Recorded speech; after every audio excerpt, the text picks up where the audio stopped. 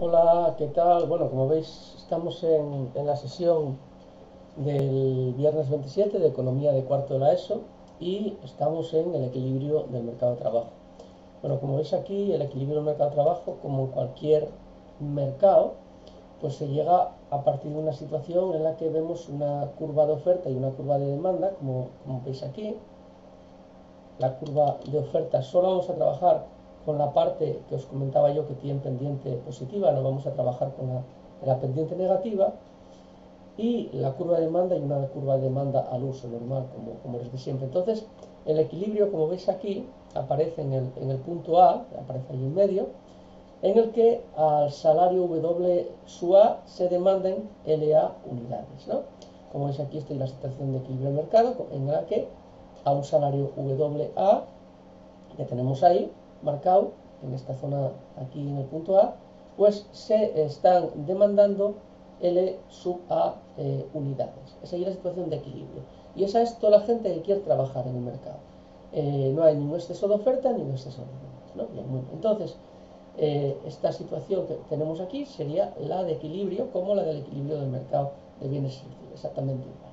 Entonces, ¿qué ocurre si yo estoy en una situación como por ejemplo WB que eh, el precio, como veis, el salario es mayor, W, que tiene aquí, está aquí marcado, es mayor que el WA, que sería de, equilibrio. ¿no? Entonces, en esta situación tenemos una, una cantidad ofrecida de, aquí bien lo veis en el, gráfico, de LB, LDB o LBD como queráis, y se quiere, eh, eh, perdón, hay una cantidad demandada LBD y hay una cantidad ofrecida LBS, con lo que se produce, como veis aquí, un exceso de oferta, porque esta cantidad que se demanda es inferior a la cantidad ofrecida. ¿Esto qué ocurre? Bueno, pues es en el mercado de trabajo, esto, este exceso, de oferta, es lo que se llama, como veis aquí, paro. Y por eso hay una situación muy peligrosa cuando en un mercado como llamado mercado de trabajo hay un exceso de oferta porque en cualquier otro mercado, cuando hay un exceso de oferta, pues se bajan los precios y llegamos al nivel de equilibrio. Pero en el mercado de trabajo, cuando hay un exceso de oferta, estaríamos en un paro. ¿Qué ocurre? ¿Cómo se solucionaría? Bueno, pues a corto plazo lo más fácil, que yo lo que hace casi siempre, es bajar los salarios. Bajar los salarios, como veis aquí la gráfica, que está aquí marcado con eh, esto que está aquí, que sería la flecha de bajar, desde este salario W que Y mayor que el WS, hasta el WA, perdón, hasta el WA, que sería el salario de equilibrio. Entonces así se solucionaría a corto plazo.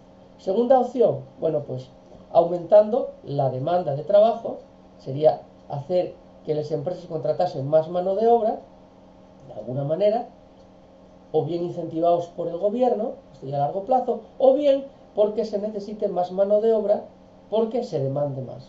Cuando la economía crece, cuando la gente tiene más dinero, se demanda más y las empresas necesitan más mano de obra, con lo que tienen que contratar más trabajadores y eso implica que se reduzca el desempleo.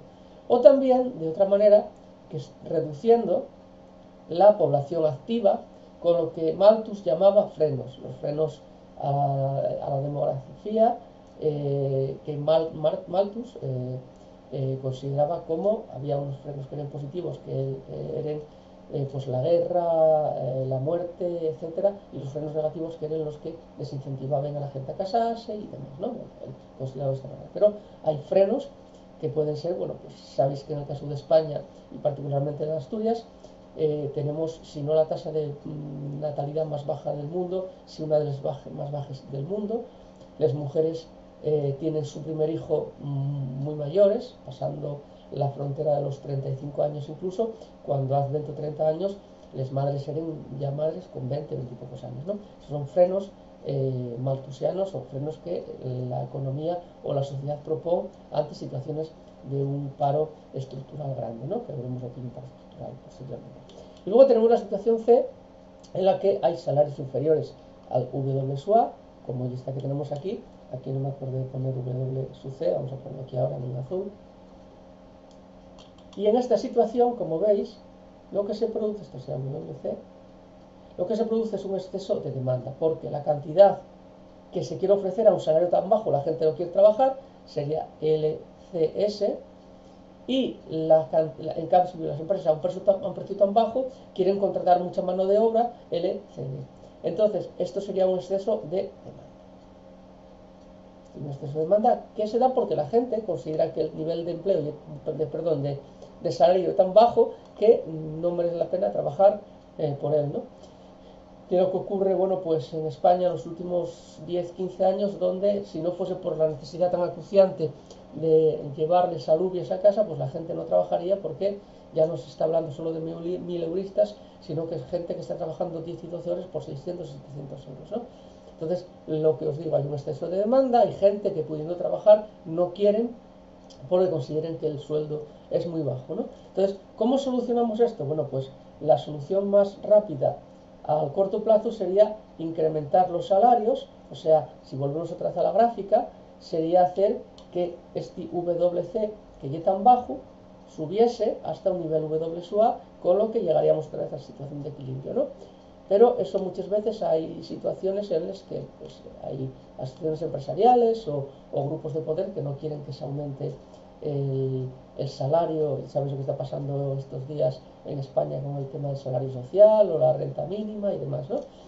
Eh, incentivar a la población sería la segunda opción, incentivar a la población para que vaya a trabajar, pues bien con ayudas, bien con subvenciones, o bien, bueno, pues eh, incentivando lo que se llama pues el, bien el, el, teletrabajo o bien la concertación familiar, la conciliación familiar o un montón de cosas que haga que la gente, aunque gane menos, se sienta más protegida, ¿no? Pues ayudar con, con, dando viviendas sociales para que la gente no tenga que pagar el piso o dando subvenciones a la gente que mm, gane poco, ayudas sociales a la gente que gane poco, ¿no?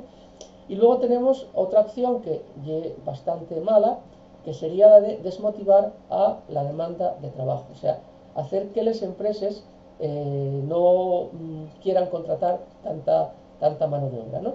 El problema es que eh, la economía llegaría a retraerse y entraríamos en una crisis que sería tan mala como la de la situación de un paro estructural.